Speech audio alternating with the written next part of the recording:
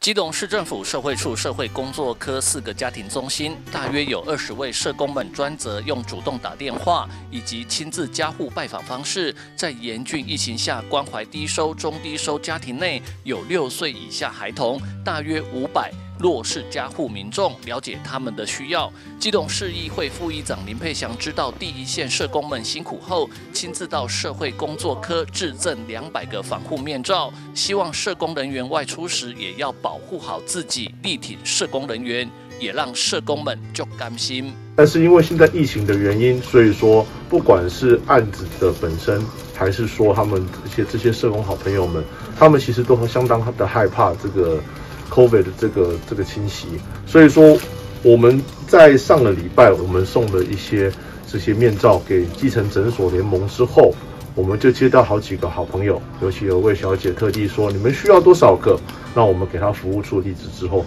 她也不愿意曝光，她也不愿意留下姓名电话，就直接寄了这么多将近两将近三百个的这防护面罩到我们办公室，那我们第一时间接到之后，我们就赶快。传给我们我们社会处的那个职工好朋友，一方面是保护他们，也让民众安心之外，第二方面也是分享过来这边跟他们说声加油，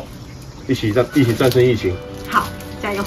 特别谢谢我们基隆市议会呃配享副议长哦，这支持跟呃协助我们提供我们这个防护面罩。那社会工作真的在疫情期间呢，我们刚才也跟呃一做分享，这个社会工作不能暂停哦，包括我们做这个家暴、性侵、儿童虐待、老人保护，还有我们五百专案的脆弱家庭哦，我们这个一年的通报案大概是七千多件，七千多件通报案，我们做筛案之后要去家访，那也这个很谢谢市民朋友哦，接到我们的这。这个访视的电话跟家访也都配合着我们。那有了这个防护面罩，我想在社会工作跟福利服务进行的同时哦，可以让社工人员保护自己，那也保护我们所服务的一个家户哦，可以让这个在疫情期间社会福利、社会救助跟这些服务的工作都不中断。那这物资对我们来说真的是太重要也太及时了。林佩祥强调，挺住第一线社工人员就是挺住弱势家户民众，由衷感谢社工们协助政府和社会对于弱势民。众的帮忙和照顾。